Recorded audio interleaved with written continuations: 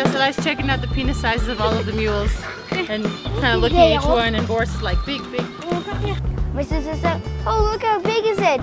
I thought like the bell was, like that big. So, what, the bell? No, this! This penis is huge, man. Oh. Look how big is it, Angela?